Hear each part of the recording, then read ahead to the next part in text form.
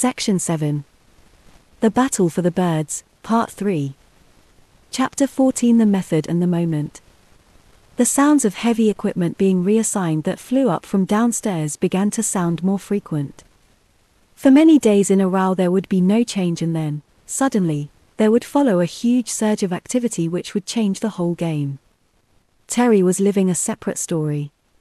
On some mornings his head was full of stars and he was unable to cope, but, at other times, he was finding a voice in his playing.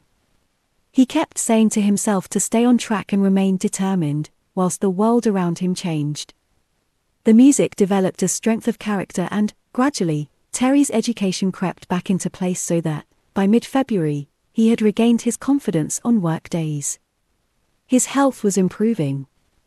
Once there had been no safe place to sleep, and now a final goal was achievable. He was back to unwinding with the familiar strong coffee and incense, and he measured up his life by how he felt in those safe moments. Evidence of struggle was all around him. The continual additions had built up a multitude of irregular patterns of lines, grids, and triangles that traced across the walls, making the flat look like a badly wrapped birthday present. The flat system of interlocking strands of materials throbbed like a spider's heart. The horse's plans were obscene. The waves were shaped like funnel webs that seemed to curve the energies into their hungry mouths. His skin was being stung every day, but he was still confident in his body's abilities to ward off the damaging waves, and Terry kept a sense of perspective. Terry spent one Tuesday at home. The birds stayed extra close all day and the seagulls made their regular military like assessments. He could hear the distant swarming of the crows up at the green, and a single crow chuff punctuated the morning at the most random of moments. The sounds were a constant reminder that the forest was near. Predictably, at 10 o'clock a.m., the skeletal bird flew past the studio as if it were the fount of all knowledge. Two pigeons were followed on to trace an arc in just two flaps. Terry had dismissed the idea that the birds were showing off until the parrots coursed through the block like joyful skateboarders. They had not lost their faith. They cut through the air like steel. Then the adhesive Faraday paper arrived and more confrontations could begin.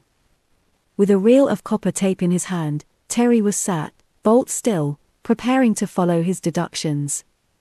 During the early hours, strips of the stuff had already been taped into position around the whole toilet window alcove and across the room's ceiling near to the door. This had been followed up with copper taping together the two hallway walls by going across the ceiling, near to the light. As soon as this had been done, the meter on the small table next to the bed had fallen to such an extent that it confirmed to Terry that the devices were connected and he had slept for a while, imagining that it was essential for the mast to contact all the devices in order to make the abnormal construction function. Now, a long strip of copper tape was put up to join the front and back lounge walls. Lines were put onto the wall above the serving hatch, linking the whole area together, and this exhausted the reel. Terry felt the flat suddenly gain a new glint of hope, and, like the sunlight that was flashing through the bare branches outside, everything looked more colorful and less uninviting. The signals dropped off in other areas too, and Terry lay back on the bed to let the amendments settle in. The doubts in his mind lessened in number and problems flew away like jays, never to return. He knew that there must be a cutting point, and the slightest of changes could bring down the most drastic of problems. Perhaps the papered bedroom wall was providing the earthing on the opposite side of the flat to the toilet and it was drawing the radiation from the hallway. What was certain was that most of his contraptions worked. The paper was remarkable and it absorbed much of the signal. The hernia on Terry's groin was reducing in size, even though his veins felt like they had been cooked. He let go and his body twitched and contorted as it tried to heal. The next day at 11 o'clock am, the huge voltage surges which were designed to magnify and locate any slight object of interest in Terry's home, rose so high that he could do nothing but feel glued to the spot. He had thought that he had the horse on the run, but now he wasn't so sure. The bird calls began to sound distant and chaotic once more. Were they mocking his place in the world? The situation was without solution. When a three was heard in the distance, Terry understood that another flat situation was being noted.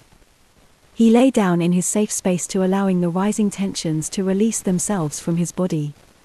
Once his mind had found the right frequency, his reflexes started to do their business. He rubbed his back and it felt more fleshy. The day to day environment was changing. Perhaps, thought Terry, he was just one stepping stone away from regaining his old perceptions. As the Faraday paper was stuck up into the corners of the lounge, he predicted the alterations in the meter readings on the other side of the flat and he was right. Time was mending as his future and past were zooming toward him. The emotions that this process drew out of him were out of control. Sometimes, he was waking up, still wondering who he was to become that day. His diary was full of things that were not important to him, but he repeated in his mind, like a mantra, how pathetically selfish these people were, and he kept his nerve, even if every day was filled with the sounds of scratching from below. The unsettling changing magnetisms did not stop at night, but he tried to reuse his bed to sleep in. It had a less than comfortable feel, but, even so, his body felt more refreshed after sleeping. This made him question the safety of his safe area. He needed to check and at once found cross currents under the carpet that ran in diagonals. This was concerning. Back to the bedroom. Terry had the old light fitment from the kitchen in his hand. He had taken it from inside the hallway alcove's lower box and he put it under the bedside cabinet to join with the plasterboard connector. This affected the sideways sweeping signals. On the morning of the 9th of March, the voltage backdrop in the air was running between 1 and 5 volts per meter throughout the whole flat. Terry was in the kitchen trying to figure out what to do with the water and gas mains piping and casing in the corner. It contained the two earth wires from the A and B circuits. The signals still traveled down and away from it, so his next move was to tape a large section of newly arrived Chinese fabric to the ceiling and around the top of the casing, which WA joined to a rectangle of radiator preserver. The lower part of the tiled kitchen wall, which faced the mast, was given more taping. This time it ran in a zigzag directly above the work surface and onto the plastered wall beneath the boiler. Whatever was scoping his property was able to find a weakness in the line within seconds. Then the heavy aluminium plate was taken up from just inside the front door and placed on the top of the kitchen cabinet to sit as close as possible to the pipe casing. The signals through the window suddenly dropped off. Copper tape was taken away from the lounge wall and used to connect the long aluminium runner strip that followed the join between the wall and the ceiling. The arrangement was linked in. This was the highest access point that Terry could deal with and, since his plan was to work his way from the front door toward the mast, he had deliberately left this part of the flat to manage later. It was a devious strategy to gradually make his problem invisible to whatever he was dealing with. Terry worked on his music until 3:30 p.m. The silhouette of two birds flashed like butterflies across the middle of the studio blinds. He stopped playing to sit on the window sill and look down at the Channel Road. The downstairs and the next door signalers were still attempting to pierce their way through the bedroom walls with their voltage driven rapiers. What or who would decide the next problem? A magpie was sat on the roof of the other block, looking over at Terry like a judge. In the evening, hits of 0.6T began and the microwaves clouded his ears. It was heavy, and the situation inevitably led to a session of frittered work and a headache. The sheets in the lower kitchen corner were ruffled up into more layers and some of the adhesive Faraday paper was cut away from the lounge ceiling corner to be added to the kitchen ceiling above the pipes but this time, nearer to the window. He accomplished the adjustments almost unconsciously since he had decided to keep his mind purely upon his music for the next few hours. Each change only took minutes out of his playing time and the next steps forward might take a while to become clear to him. His priorities were clear. Sometimes, he would only allow 10 minutes of the day to be spent on ridding himself of some new stunt or he simply followed his finely tuned instinct to shore up another leak. Sometimes his mind was not his own in his composing and his prophetic fixing. An aluminium strap was taken from under the studio radiator and wedged in to connect the pipes above the boiler. One was unreasonably off the scale in its radiation, despite the whole circuit being shut off from the fuse box. He covered the join between the ceiling and wall with Faraday paper. The left side doorpost of the lounge was fully taped down head to toe and freshly stripped aluminium was stuffed under each post. He was concluding that the door frames, despite their tape and paint were acting as transmitters of the signal across the flat. More aluminium was shoved under the skirting near to the bedroom door. This wall to the side of the bed was incredibly difficult to deal with as the beams shot across from the corner at so many different angles hugging the wall as closely as they could without compromise. Every corner was trying to hit the central ceiling light and the transmitter at the foot of the bed was running through his feet as the microwaves traversed the room to the far upper window corner. He took up much of the carpet nearest to the door. On inspection, the signals were running through the smallest of gaps around the section of metal bath mat that lay on the floor near to the door in that corner. He pushed the heavy section closer into the wall corner and layered on top two aluminium sheets, poster liner, and RF reflective strips that covered the gaps. Nothing could be left to chance. At night, the robin returned. It was all just a story. Terry threw some food out of the lounge window to the channel road. He knew how the bird's constant encouraging flights up to the window was lighting up his day. The next day, Terry was sat at the keyboard not knowing what to expect. He watched the show from the meter on the music stand.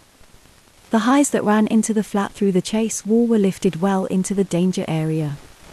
0.7 T and further before the predictable run around and a drop to 0.25 T as if trying to find a match.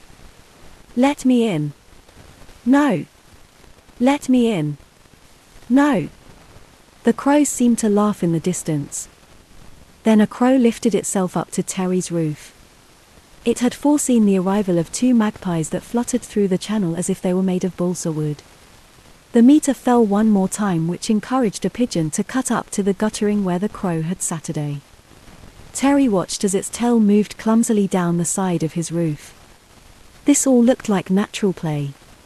Soon a crow was marching back and forth on the opposite roof in full ownership. It stopped to look over and bowed in a jerk before flying up to the green. Terry felt vindicated. The next morning, two magpies were waiting for him on the channel block's roof. They had enjoyed the bright sunshine for a good hour before Terry appeared and were using the vantage point to look over the operations of the village. The next day, the same birds returned to cover the same duties. They had their routines. By the time that the Crow Moon arrived, Terry was making plans for the future. A polystyrene aluminium strip was stuck all the way along the side studio wall where his desk had formerly Saturday. Now he knew that the searching beams were able, in an instant, to find the next angle unless he fooled the cameras away. A triangle of tape was fixed over the top. His aim was to confuse and absorb but, in the back of his mind, his major worry was that a complete protection would be the only option. The wall to the side of the radiator already had been painted and tapes of all kinds were upon it. What more would it take? Every signal was strong and flooded into the room at all sorts of trajectories. Surely, they were being led down to the radiator. The alcove was taped up and preserver attached to it, but this was just not enough and the venomous streams crept back in. Terry, however, consoled himself with the fact that the major disciplinary work had been done. He altered the old carpet runner, the adapters that sat on the lower radiator arm and stripped and joined until he was happy. Now the two magpies were cavorting around. They knew that a change was in store. The studio radiator was further connected to the wall under the sill and a large square of Faraday paper was added to the small wall to its left and he used the meter to again pick up the transverse waves that were hitting down on the sill. He was drawing the current down so that it would flow into the lower radiator arm pipe. He rounded the move off with the tassima being switched on in the oven socket. He matched every move with a filter change. Later that day, Terry felt the need to carry on with the kitchen additions. He taped onto the areas where he found that the signals were still shooting up to the tiled casing side of the cluster of pipes and a clump of materials, including the sticky plastic EMF absorbing material was stuck to the plywood casing near to the ceiling and out to wall, absorbing yet more of the terrifying signal.